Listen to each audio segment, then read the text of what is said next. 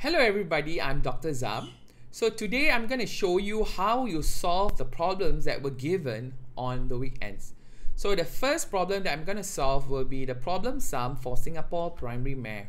Alright, so for this problem, you will typically see it in PSLE um, question in your paper, right? Normally it's in paper 2.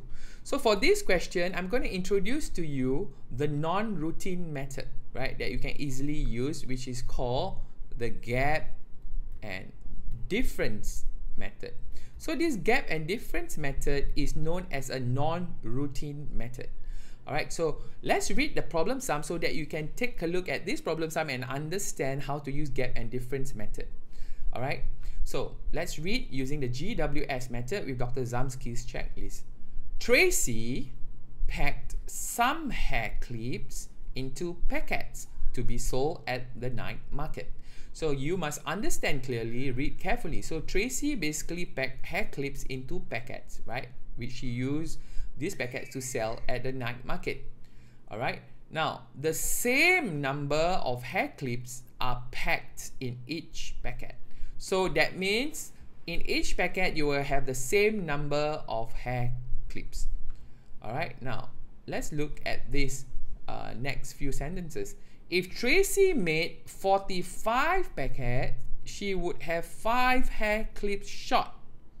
Right? So if she made 45 packets, she has she will have 5 clips short. That means she needs 5 more.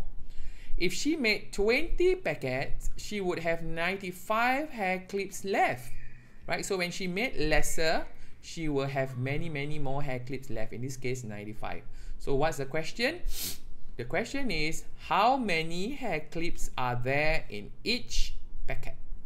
Alright, so for this method of gap and difference, you don't really need to draw a model, but most importantly, you must take a look at the keywords. So in this case, the keyword here is short and left, right? So for gap and difference, normally, if you're using gap and difference for this sort of problem sum, you must look out for the keyword short and left. Alright, so let's take a look at the two cases. Alright, so in case 1, alright, Tracy made 45 packets. Okay, she made 45 packets. And she had 5 short. Okay, she needs 5 more, so she's 5 short. In case 2, she made 20 packets. Alright, and she has 95 more. So it is in the opposite direction, right? She had 95 left. So this direction is a very important concept in gap and difference method, right? So for case 1, when she made 45 packets, she needed 5 more. Whereas for case 2, when she made 20 packets, she had 95 left. She had extra, right? So 95. These both are in opposite directions. Alright, so this concept of opposite direction is very important because in gap and difference, you are looking at the gap and the difference. So in this case, if you look at the number of packets, you can derive the gap. So the gap is between the numbers of packets she could make in the two cases. So to calculate the gap, all you need to do is just find the gap between these two, which is just to minus it off.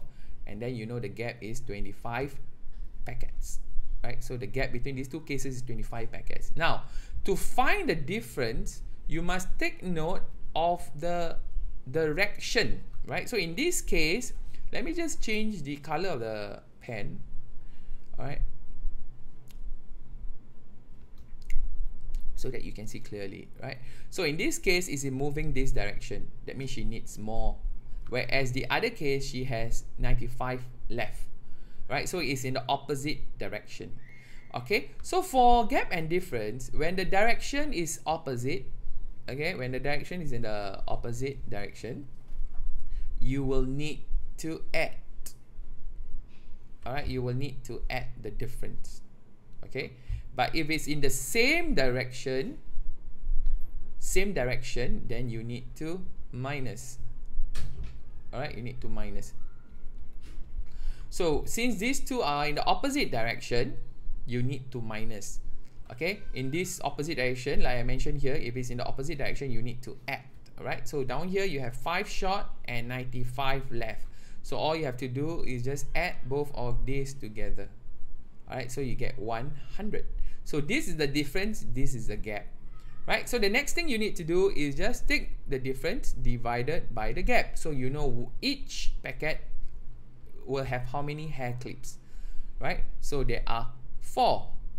So the final answer here is four, right? So how many hair clips are there in each packet? The answer is four. So it is good to check, right? So if Tracy made 45 packets, so 45 times 4, it is 180.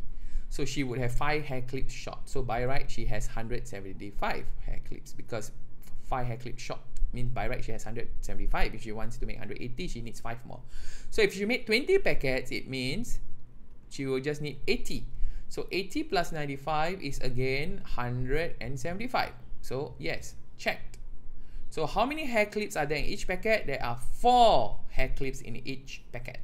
Alright, so for gap and difference, uh, the keywords are very important. The understanding of when you use gap and difference is very important. So the way is when your child or you need to choose your problem sum strategy, you have to clearly understand the problem sum so you know which method to use. Alright, one thing I want to take note here is very important for you to know what is the gap between the two cases or the scenarios. What is the gap? You just need to minus them and find the gap.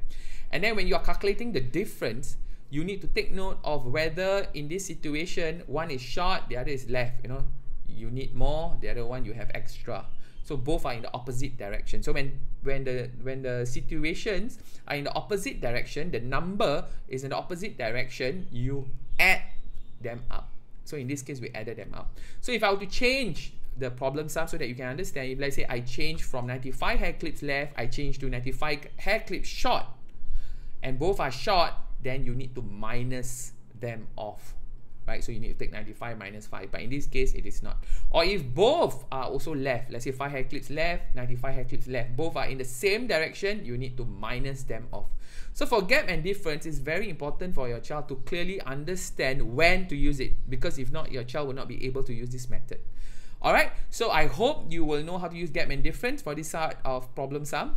Uh, gap and difference is also used typically in speed uh, and distance kind of questions. And at the same time, sometimes students would like to use uh, the units method or the model method to solve this. But for this problem sum, I've decided not to show you any of the uh, common methods that we use. And that is just to let your child understand, reason out the problem sum using the gap and difference method. Alright, so I hope you try this out. If you have any questions, always ask me. Alright, so see you again. Thank you.